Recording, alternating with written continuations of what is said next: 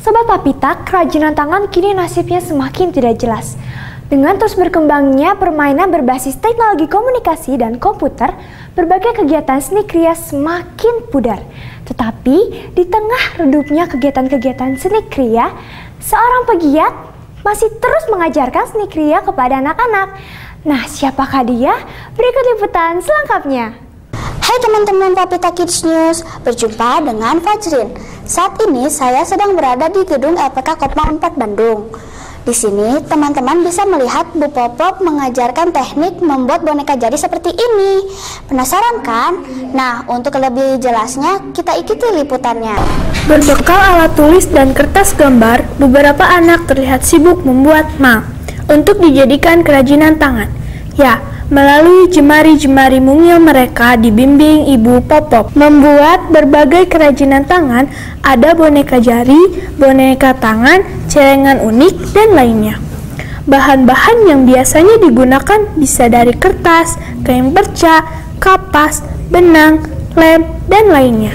Uh, manfaatnya banyak deh, bisa misalnya belajar berlatih, bikin keterampilan, desa-desa ada PR dari guru bisa buat sendiri udah gitu nanti juga kalau misalkan mau belajar wirausaha bisa gitu misalnya ada sama teman-teman yang lain bikin apa misalnya bikin boneka untuk dijual di antara teman-teman kan dapat uang untuk uang saku uang jajan ya. Produk apa saja yang sering ibu ajarkan selain boneka jari?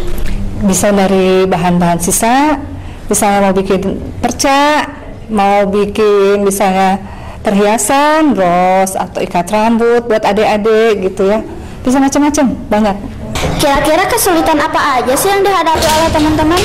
Sebetulnya nggak ada kesulitan deh mungkin hanya awal aja. Kalau awal tuh kan semua harus belajar. Uh, sekarang kayak adik-adik mau nggak belajar semangat untuk bikin keterampilan ini? Insya Allah kalau misalnya semangat siapa pun bisa.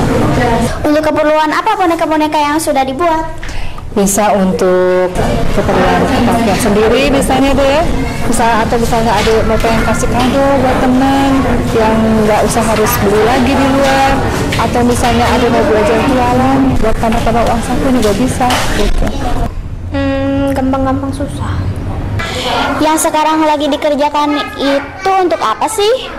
Banyak sekali untuk gantungan kunci, tempelan di kulkas, dan lain-lain.